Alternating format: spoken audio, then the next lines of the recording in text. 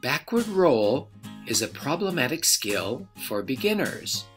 Best we feel is rolling from an appropriate height to angry cat. Having kids make a triangular window with their hands reminds to keep fingers pointing in, hands shoulder width. Finally, before introducing backward roll, test the kids to see if they are strong enough to do piked headstand push-ups necessary to finish the roll.